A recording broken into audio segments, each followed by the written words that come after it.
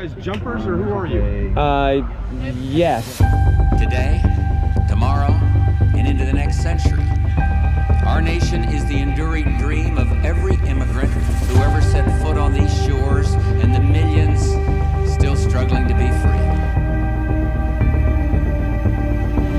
We hold these truths to be self-evident, that all men are created equal, that they are endowed by their Creator with certain unalienable rights, and that among these are life, liberty, and the pursuit of happiness.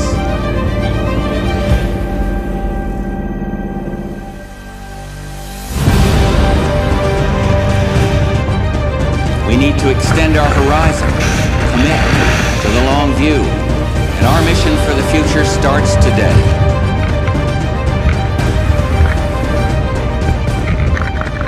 Since the all-inspiring World War II victory of North Africa, Italy, and Normandy, the paratrooper has come to rely on person For democracy belongs to us all, and freedom is like a beautiful kite that can go higher and higher with the breeze. And to all I say, no matter what your circumstances or where you are, you are part of this day. You are part of the life of our great nation.